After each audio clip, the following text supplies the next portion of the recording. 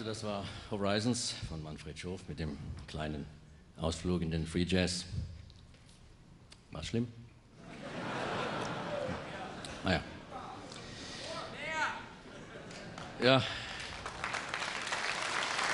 Ah.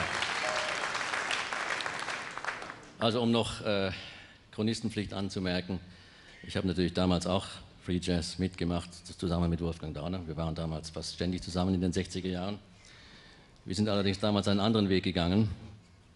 Wir haben mehr so Geigen zersägt und Klaviere äh, zerhackt und was weiß ich auf der Bühne und dachten, dass das sei toll. Naja, überlassen wir das, das der Geschichte.